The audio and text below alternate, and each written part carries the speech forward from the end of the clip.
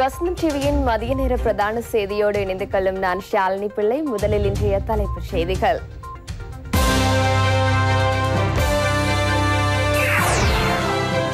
GMO பணி பகிஷ்கரிப்பு நீடிக்குமா இல்லையா? இன்று தீர்மானம். டிக்கெட்டின்றி புகையிரதங்கள் சேவையில். சுகாதார விதிமுறைகளை மீறுவோரை தேடி விசேட அதிரடிப்படையினர் உஷார் நிலையில். போலி பிசிஆர் அறிக்கைகளை வழங்கிய கும்பல் கைது. சிறைவாசம் அனுபவித்து வரும் தென்கொரிய முன்னாள் ஜனாதிபதிக்கு பொது மன்னிப்பு.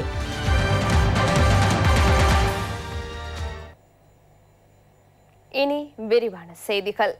ஒரு சில புகையிரத தொழிற்சங்கங்கள் ஆரம்பித்துள்ள பணி பகிஷ்கரிப்பு காரணமாக பயணிகள் பெரும் சிரமங்களுக்கு உட்பட்டனர். அத்துடன் புகையிரத டிக்கெட்டுகளை விநியோகிக்கும் பணியிலிருந்து நீங்கியுள்ள புகையிரத நிலைய பொறுப்பாளர்களின் சங்கம் போக்குவரத்து அமைச்சின் செயலாளருடன் போக்குவரத்து அமைச்சில் தற்போது விசேட பேச்சுவார்த்தையில் ஈடுபட்டுள்ளது. புகையிரத டிக்கெட்டுகளை விநியோகிப்பதற்கும் பொருட்களை பொறுப்பேற்காதிருக்கவும் ஒரு சில தொழிற்சங்கங்கள் நடவடிக்கை எடுத்ததை அடுத்து புகையிரத பயணிகள் டிக்கெட்டுகளின்றி இலவசமாக பயணிப்பதை அவதானிக்க முடிந்தது. டிக்கெட்டுகள் விநியோகிக்காத போதிலும் புகையிரத பயணங்களில் மாற்றங்கள் ஏற்படுத்தாமையினால் பயணிகள் இவ்வாறு இலவசமாக பயணித்தனர். பதவி உயர்வு புகையிரத ஊழியர்களின் எண்ணிக்கையை அதிகரித்தல் பயணிகளுக்கான வசதிகளை மேம்படுத்தல் உள்ளிட்ட இருபது கோரிக்கைகளை அடிப்படையாக வைத்து புகையிரத ஊழியர்கள் பணி பகிஷ்கரிப்பில் ஈடுபட்டுள்ளனர். எவ்வாறாயினும் ஒரு சில புகையிரத நிலையங்களில் மாத்திரம் டிக்கெட்டுகள் விநியோகிக்கப்படுவதாக எமது செய்தியாளர்கள் தெரிவிக்கின்றனர். மட்டக்களப்பு பிரதான புகையிரத நிலையத்திலும் டிக்கெட்டுகளை வழங்கும் பிரிவு மூடப்பட்டுள்ளது. எனினும் ஆன்லைன் மூலம் டிக்கெட்டுகள் வழங்கப்பட்டதாக புகையிரத நிலைய பொறுப்பதிகாரி தெரிவித்தார். தொழிற்சங்க நடவடிக்கைகள் அமுல்படுத்தப்பட்ட போதிலும் மலையக புகையிரத வீதியின் புகையிரத சேவைகள் வழமை போல் இடம்பெற்றன. நியாயமற்ற கோரிக்கைகளை முன்வைத்து இத்தொழிற்சங்கங்கள் பணி பகிஷ்கரிப்பை அமுல்படுத்தியுள்ளதாக புகையிரத பொது முகாமையாளர் தம்மிக்க ஜெயசுந்தர ஊடக சந்திப்பின் போது தெரிவித்தார்.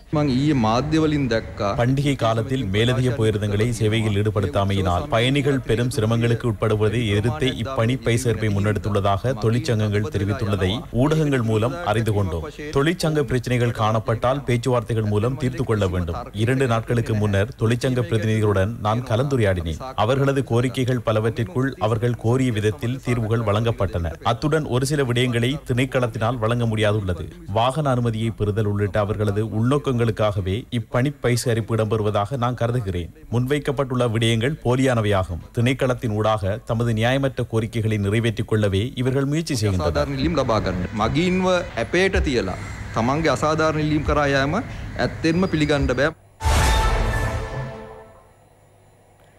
அரச வைத்திய உத்தியோகத்தர்களின் சங்கம் ஆரம்பித்துள்ள பணி பகிஷ்கரிப்பை தொடர்ந்து முன்னெடுப்பதா இல்லையா என்பது குறித்து தற்போது நடைபெறுகின்ற மத்திய செயற்குழு கூட்டத்தின் பின்னர் தீர்மானிக்கப்படும் என அச்சங்கம் தெரிவிக்கிறது. நான்காவது நாளாகவும் பணி பகிஷ்கரிப்பு இடம்பெறுகின்றது. சட்ட ரீதியான வைத்திய இடமாற்றல் சபையின் அங்கீகாரமின்றி வைத்திய நிபுணர்களின் நியமன பட்டியலை தயாரித்தல் உள்ளிட்ட ஏழு கோரிக்கைகளை அடிப்படையாக வைத்தே அரசு வைத்திய உத்தியோகத்தர்களின் சங்கம் இப்பணி பகிஷ்கரிப்பை ஆரம்பித்தது. சட்ட ரீதியாக வைத்திய இடமாற்றல் சபையின் அங்கீகாரமின்றி வைத்தியர்களை உள்ளீர்ப்பு செய்தல் இரண்டாயிரத்தி இருபத்தி இரண்டாம் ஆண்டுக்கான இடமாற்றல் பட்டியலை அறிவிக்காமை போன்றனவும் இக்கோரிக்கைகளில் அடங்குகின்றன. முன்னாள் சுகாதார அமைச்சர் ராஜித சேனாரத்ன வைத்திய நிர்வாக தரத்தில் சரியான முறையொன்றை பின்பற்றாமையினால் அதனை சரி செய்வதற்கு வழங்கியிருந்த அமைச்சரவையின் அங்கீகாரத்தை அமல்படுத்தாமை இலங்கை வைத்திய சபையின் தெரிவிற்கான வர்த்தமானி அறிவித்தலை வெளியிடாமை போன்றனவும் பணி பகிஷ்கரிப்பில் ஈடுபட்டுள்ள வைத்தியர்களின் கோரிக்கைகளாகும். வைத்திய உத்தியோகத்தர்களின் சங்க பணி பகிஷ்கரிப்பு காரணமாக இன்று காலை வைத்தியசாலைக்கு வருகை தந்த நோயாளர்கள் பெரும் சிரமங்களை எதிர்நோக்கினர்.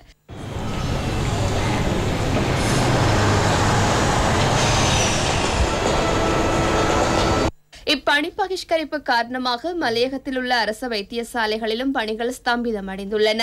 பெருந்தோட்டங்களில் வாழும் மக்கள் இன்று வைத்தியசாலைக்கு சிகிச்சைக்காக வருகை தந்த போதிலும் ஏமாற்றத்துடன் வீடு திரும்பினர். தமது கோரிக்கைகள் சுகாதார அமைச்சுக்கு முன்வைத்து கடிதத்தில் குறிப்பிடப்பட்டுள்ள யோசனைகள் இன்று மத்திய செயற்குழு கூட்டத்தில் ஆய்வு செய்யப்பட்டு தீர்மானம் எட்டப்படும் என அரச வைத்திய உத்தியோகத்தர்கள் சங்க நிறைவேற்று உறுப்பினர் டாக்டர் பிரசாத் கொலம்பகே தெரிவித்துள்ளார்.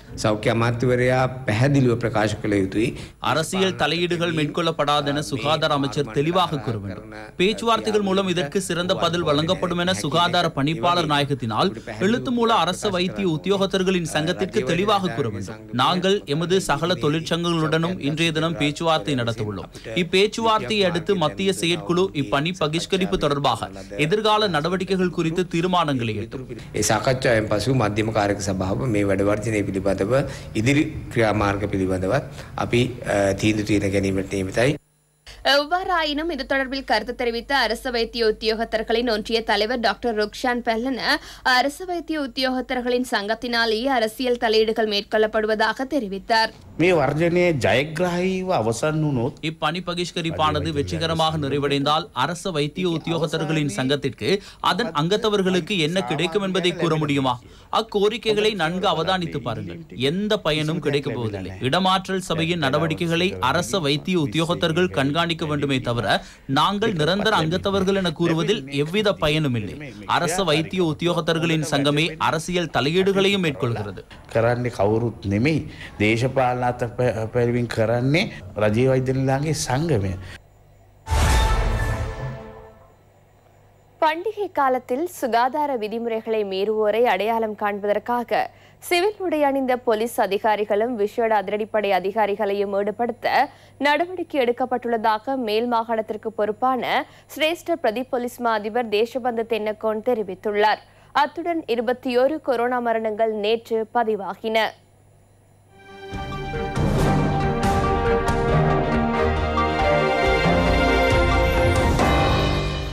பண்டிகை காலத்தில் சுகாதார விதிமுறைகளை மீறுவோரை இனங்காண்பதற்கான விசேட நடவடிக்கைகள் அமல்படுத்தப்பட்டுள்ளதாக மேல் மாகாணத்திற்கு பொறுப்பான சிரேஷ்ட பிரதி போலீஸ் மாதிபர் தேசபந்து தென்னக்கோன் தெரிவித்துள்ளார். சுகாதார விதிமுறைகளுக்கு அமைய செயற்பட வேண்டும் என ஊடகங்களை போன்று சமூக தரப்பினரும் போலீசாரும் தொடர்ச்சியாக அறிவுறுத்தல்களை வழங்கி வருகின்றனர். முக கவசங்கள் அணிவதிலும் சமூக இடைவெளியை பேணுவதிலும் தெளிவான விளக்கங்கள் வழங்கப்பட்டுள்ளன. இவ்வாறான நபர்களை தேடி நடவடிக்கைகள் முன்னெடுக்கப்பட்டுள்ளன.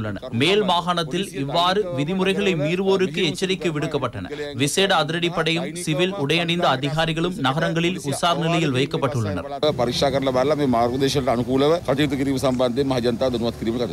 இம்முறை நத்தார் பண்டிகையை வீடுகளில் குடும்ப அங்கத்தவர்களுடன் மாத்திரம் கொண்டாடுமாறு கத்தோலிக்க மக்களிடம் கேட்டுக்கொள்வதாக அரசு ஆயுர்வேத வைத்திய உத்தியோகத்தர்கள் சங்கத்தின் செயலாளர் டாக்டர் சேனக கமகே தெரிவித்துள்ளார்.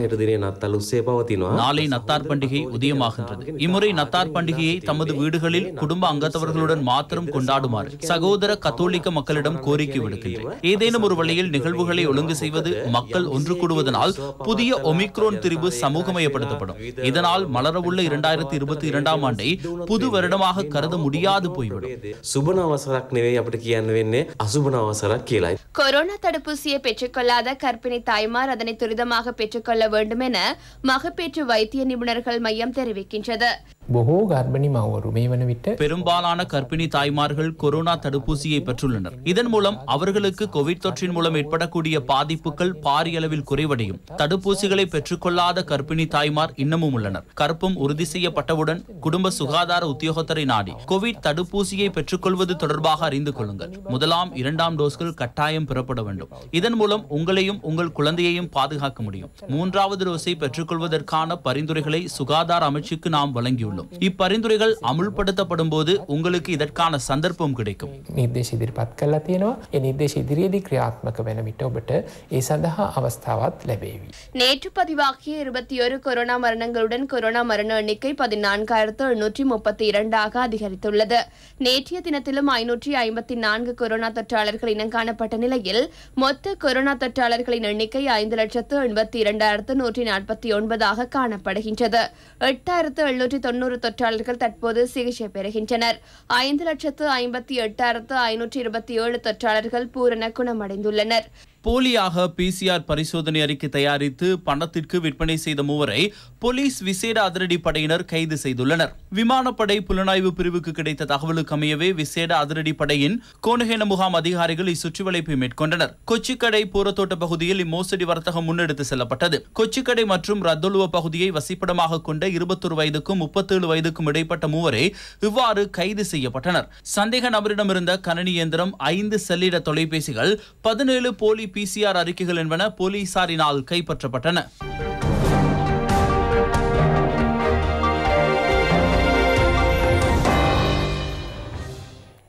முல்லைத்தீவு மாவட்ட சுற்றுச்சூழல் மற்றும் வனவிலங்கு அளவை மற்றும் சுரங்க திணைக்களத்தின் அலுவலகம் திறந்து வைக்கப்பட்டது.